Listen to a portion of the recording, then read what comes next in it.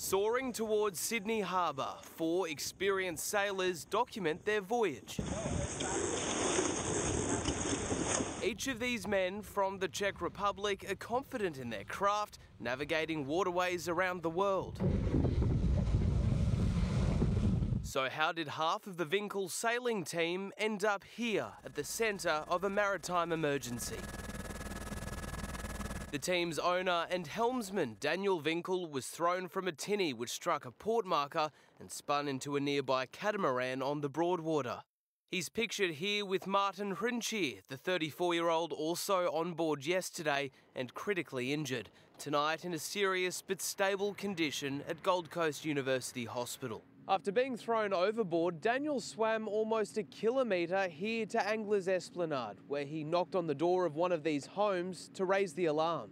A remarkable swim to safety to sound a call for help, now hoping a friend, one of his crew, will pull through. On the Gold Coast, Liam Bland, 7 News.